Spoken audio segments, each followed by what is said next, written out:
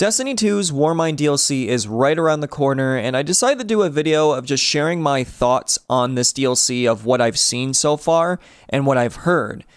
This, of course, means that I will have some things that I will talk about in hopes for this DLC that may or may um, not happen with this upcoming DLC. So, with that out of the way, I want to also know your thoughts on this DLC, like what you've seen so far. Do you think that this DLC might be really good, or do you think that it's going to be boring? Do you think that this will bring you back to Destiny 2 for a while to uh, play the game, or do you think it's just not enough and you're just going to mainly wait till the expansion for September?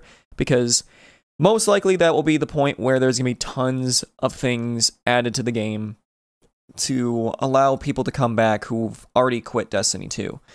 But for me, um, I've told you guys with Destiny 1 specifically, like if we want to compare the expansions, uh, I quit Destiny 1's vanilla, uh, like I think in November or end of October, I just stopped playing Destiny 1 because I wasn't having fun. I didn't get to do the raid that much. I couldn't find a raid group to do it. I did it like once and we got to the end and we didn't beat it. But I, I had a lot of, uh, a lot of fun in it, but it was just it was very annoying that I had to like go out of my way to find a group to play the raid. But I went back to Destiny 1 after not playing it when the Crota's End DLC was just like a few months in of its release and it was nothing that I was crazy about. I mean, I was I was excited to play it because I had more friends that were were playing more and were doing the raid, and I actually decided to do uh, the raid, and I actually found LFG this way, where I was able to do the raid a lot more, and uh, it was enjoyable. But there was just not enough content when it came to the story missions. So we only got one strike, and it, the main reason that people played Destiny was the grind and the the interesting loot. And also PvP, you know, for Destiny 1 was a lot more fun compared to Destiny 2's. Uh, which I know that's debatable for a lot of people. But House of Wolves expansion was where I was more excited for an a small little DLC.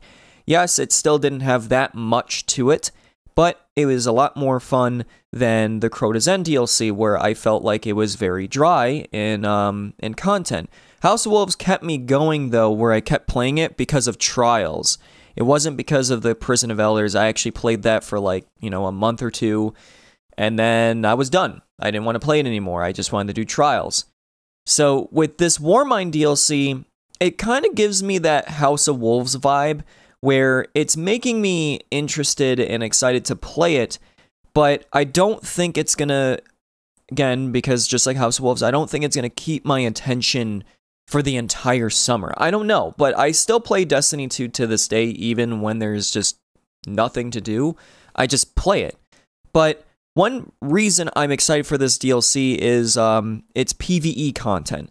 Now, for PvP, it's getting slightly better. Uh, like the 6v6 Iron Banner is really good. I really wish it was like more permanent for quick play, but them uh changing up PvP where now it's you go faster, the the weapons are stronger and stuff. It's a little bit more enjoyable than what it once was, but it's far from perfect. Like it's far from being as fun as Destiny 1's PvP where you could go out by yourself and get just tons of kills easy.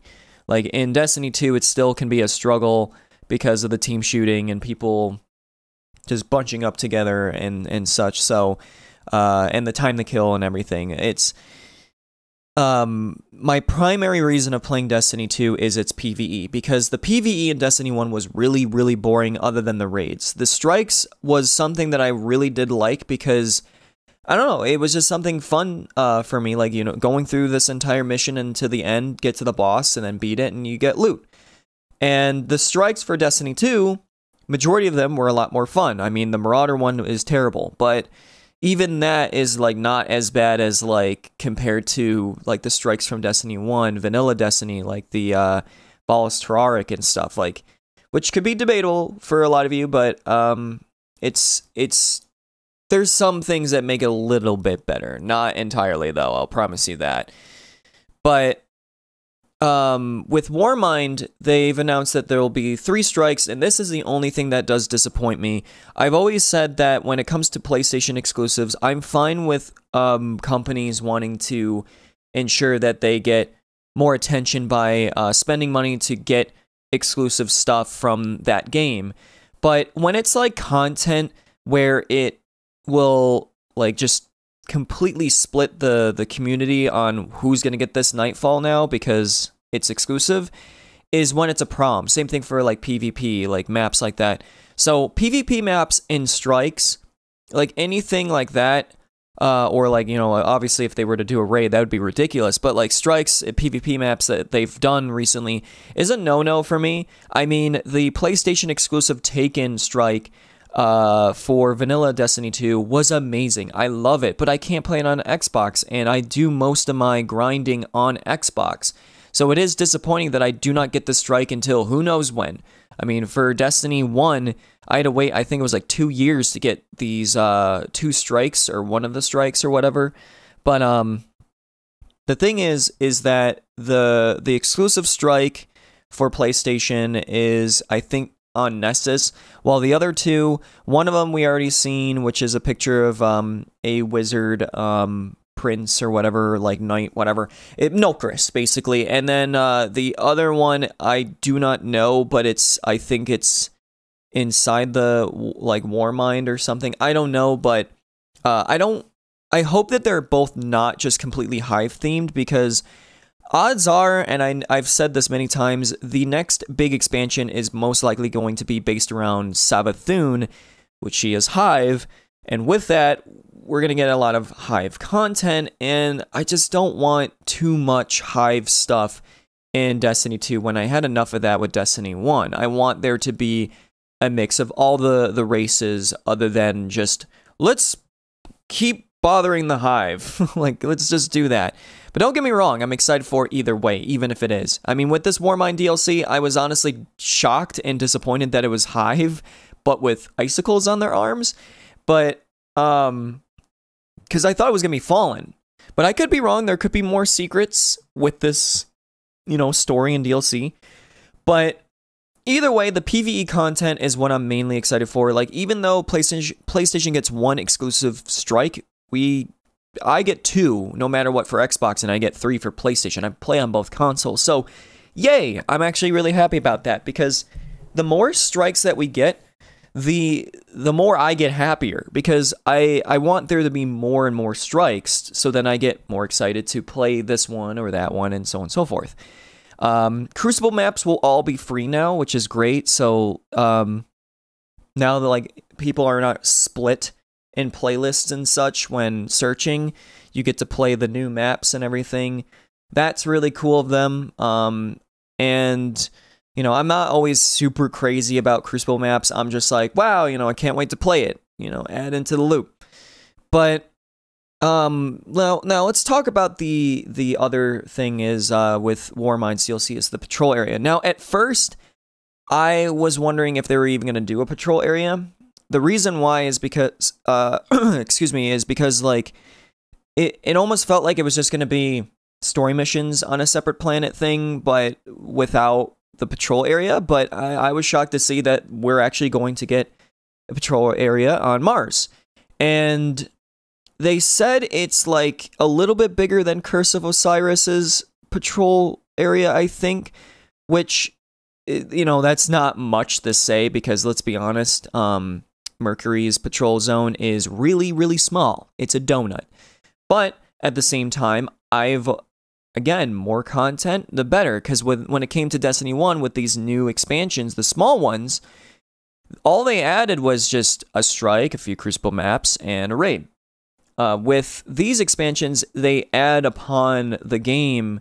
It feels like now, like where there's more things to do, but I mean, with House Wolves, at least they added the Prison of Elders, so it gave us kind of like a new activity, like a new area to play in. But um, with Destiny 2, with both expansions, we've gotten something to add to the uh, the destination map, which is good. But the destination doesn't look anything crazy. It looks pretty basic, but it is cool that they have this like Court of Oryx, Archon's Forge kind of thing. Um, where and it's mixed with like Prison of Elders, where like you can activate it whenever you want, which is cool. But it's got a, a wave system. You probably have already seen this. If not, it's a wave system uh, up to seven levels, and it gets harder each time. But each level will have like a little like I guess mini boss that you battle. But at the way end at level seven, there'll be an actual boss, uh, which there'll be five of them. So each week it will change. So it'll be like Court of Oryx. I like this because it gives us a really good idea of like a horde mode that is possible for the game for the future than just making it just Prison of Elders. But I thought it was really cool, um, especially since it's in a patrol zone and like Archon's Forge and Court of Oryx, but it's in the main area. So then you're not worrying about people who just go into patrol and go sparrow all the way to Archon's Forge, and you're sitting there by yourself, waiting for someone to actually go into the forge itself. So having it in an actual patrol area that everyone's going to be a part of is very good, and and I I look forward to that because I've always wanted patrol to get a lot more active, and this is a really good thing because I knew that something was missing, like Archon's Forge, and I we really needed it for um, the the patrol zones to be a little bit more active because they're doing a great job with patrol, in my opinion. Uh, there's public events as well for this area as well. Um, I've seen Defend the Warsat and also something with the Witches Ritual, which I'm guessing is like the one on Titan. But the the thing is, is the character designs actually do look interesting. I know it's a reskin, but um, with the enemies, with them having the ice on them, like I saw a knight with like a shield was really cool in my opinion. I, I did like it. It wasn't like a complete and utter reskin. And uh, I'm I mean, come on guys, like with House of Wolves, we we got Fallen that are just more blue and with like new shanks and a new servitor uh, design like that was just a little bit more spiky so you know i'm not expecting anything that huge of design changes for a small dlc but I did like it. I really did with their designs. It is kind of funny that uh, there's just icicles on Hive. like, okay. Um, when I was watching the intro cutscene, if you don't want any spoilers, anything for the intro cutscene uh, that they showed off uh, during the stream, it I was really kind of confused. Like, I was like, wait, are the Hive uh, awoken from the Warsats heating up the ice because I I thought that was confusing that they're frozen and eh, from just temperature. Like I don't really know, but uh, I don't know if that's the case. But with that, uh, like science out of the way of how that could have like what's going on here, the end creature people are speculating it could be an ogre, it could be um a worm god like a leviathan or something, which I do hope it's that or who knows. But if it's a Leviathan or whatever, like a hive worm or some shit, that'd be crazy. That'd be really, really good. Because um uh, with Curse of Osiris we got a new enemy, like a completely new design enemy. Um uh Pompties or something. No, is that uh, wait a minute. You know, I'm gonna look that up real quick. What was that enemy well even the, while I'm looking this up. Um, basically, the the I'm hoping that they do have a crazy design for a boss for just the story because that was really cool of them that they were like, um, like oh you know instead of just making bad guys big, uh, let's make a new design like a whole different enemy. So it was really cool that they did Panoptes, that was it. Okay. Um, he his design was really really cool. It was interesting. It was disappointing that his end game boss like was not used for a strike. I feel like it would be cool if they redesigned it a bit so then it could be also a strike. Because uh, it was a decent boss. It could have been better though, because it was more lines of just like he's immune until this happens and all you need to do is just point and shoot. Like literally, you're frozen there, and all you have to do is shoot at them on a platform. But with the Warmind DLC, either way, I'm looking forward to it. If it's anything like Curse of Osiris or better, because the story for Curse of Osiris was decent, actually. I actually did like it a bit. There was some corniness out of it, like Sagira's uh, Scream. That was a meme. But um, there was a lot more missions that were a lot more like intriguing and a lot more fun. Like when I did the expansion, uh, the small DLCs for Destiny One, a lot of the the story missions were just forgettable, and they were just filled with like just enemies attacking you in an area that you've already been in. Um, like which Curse of Osiris did this as well, like where they they are like, hey, you've been at this planet and you've been in this cave, but you're going there anyways because content. But still, it was a longer deal, uh, story DLC than Crota's End. So for Warmind, I'm hoping it's it's as long as Curse of Osiris or more. Because uh, with House of Wolves, I do remember there being a lot more to the story, and it was a lot more intriguing, even though it was really, really, really short, just like any of these other DLCs. But um, when it comes to the story, we don't really know much, which is good. And uh, I will obviously do an updated, like, you know, my final thoughts of the DLC when it actually comes out. But I do hope this story has some awesome lore to it and maybe some dark tone story to it. I know that we might not get that until the next big expansion, but um just this whole like oh we got to make jokes, this you know, oh it's happy land when when shit's bad, it's it doesn't really fit the like the storytelling for this kind of game when you do it like that and not like a darker tone. You don't have to make it completely dark, but I feel like Destiny 1 did a, a decent job for its dark lore, especially when it came to the Grimoire. It was really, really good. So, I don't know with Warmind when it comes to its story.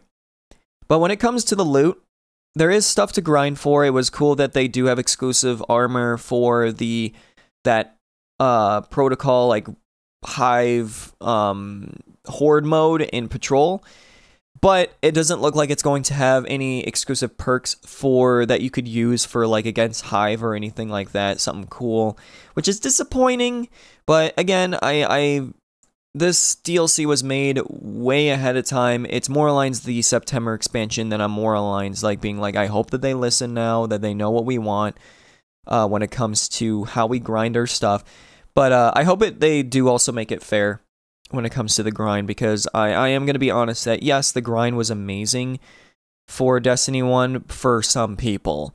It was kind of unfair for those who actually, you know, had life stuff so they couldn't grind for that much. And it was uh, annoying where you would play with a friend who could play the game for millions of hours, get a god roll Eyasluna, and then you you have a job, you have a family, you don't have time to play the game that much and you never get it. You never ever get it. You keep playing Crucible though whenever you have free time and you just never get the the god roll, but that other person did.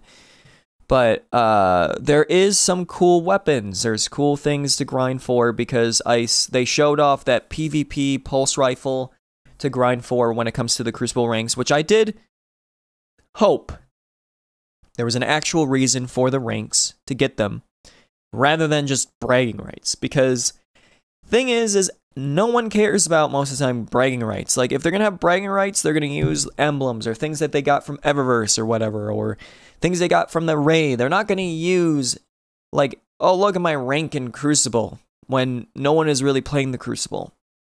So the pulse rifle does have a new perk in it. It seems kind of game breaking, but at the same time, it's what's needed for this game. Like, I feel like people need to understand that balance for Destiny, the way that you guys want it to be, is hard to um, hard to do because the, we have so many weapons, and if you want your weapons to feel distinctive, balance is gonna have to break a little, just a bit. But with this pulse rifle, basically, when you got outlaw, which um, precision kills uh, increase the reload speed, but when you get Outlaw procced, Desperado also procs where your rate of fire goes up, which also your damage doesn't go down. So you're still doing the the same amount of damage, just quicker, which to people could think, you know, whoa, this is broken, but something to grind for. It's really, it's an actually uh, decent, uh, really good sc- uh, scout pulse rifle for you to grind uh, for the ranks, and only certain people are going to be able to get it. And there is an ornament for it for uh, getting to a certain rank that only like a, a small uh, portion of people will be able to get. So there's something to show off uh, for that, like something that not everyone will get, which we do need that as well. We can't just keep being like, yeah, everyone gets everything, but at the same time, you want to make sure that some game changing items, weapons, and stuff that people can get them. They they actually can. It, they just need to put more time into it. Like when it came to trials, it was good actually that they removed the whole like if you went flawless, you got the uh, trials weapons just with a burn on it because it was unfair because not everyone was able to go flawless. But having something that you get to go flawless is needed a bit to because what's the point of going flawless then? So like when it came to like the newest trials that they did in Destiny 1, they had the same weapons that you could get free with doing trials without flawless, which were like um blind perdition and stuff or bur- um what is it burning eye or burning stone or something. And um but the difference was when you went flawless, you got the weapon and it was its design was gold and it had an intrinsic perk of snapshot and also like I don't know if it was just the flawless ones, but when you aim down, it highlighted enemies. But either way, it was a little bit more fair where it wasn't entirely game breaking. But I know that some people might disagree and be like, no, you shouldn't be able to get anything that's game changing. It should be cosmetic or something. I don't know. But that's the reason why no one really does care about flawless in Destiny 2 because woo, I got a blue aura to my armor. like, who cares? But uh, we don't know anything about the raid lair other than its name, uh, which is like Rising Star or something like that. But uh, uh, it's a it's a raid lair. If anything, it's gonna be like the one that we got before, which was fun. It's not bad. So I look forward to that. We also will be finally getting the prestige uh, version of the other raid lair, just you know took a long time, but uh, we got that as well. Uh, what was it? The the exotics we've seen pictures of them, and they do look interesting. We do see some returning exotics, uh, like Suros, but I wasn't seeing that many weapons when it comes to exotics. I've seen a lot of armor, and I hope that this DLC is not just armor and like a few weapons. I want to see a decent amount of weapons, like as much as Curse of Osiris or a little bit more. So, who knows? But the Masterwork system for exotic weapons is cool. Like I heard about that where they'll have that either way, just having getting the double kills and dropping orbs of light will be great cuz I I do like that about legendaries and uh, the exotic reworks uh, update, like all the free updates that we're getting with this Warmind DLC is really promising. I guess we are getting vault space increase, like of at least 50 slots with this little DLC. I do hope that still happens because it's needed. But um, either way, this DLC does catch my interest for it being because Curse of Osiris, I was not that pumped to play. And in the end, I did like it though. With this DLC, I'm a little bit more excited. Um, not that much. I mean, it's Destiny 2, but um, either way, like I actually am looking forward to playing this DLC. So I want to know your thoughts. I I do plan on uh, obviously recording this experience, playing through the DLC and and such.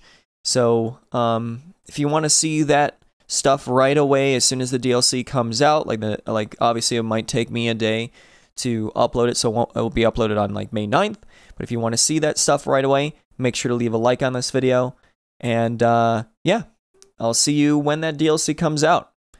Thank you so much. Chibi out.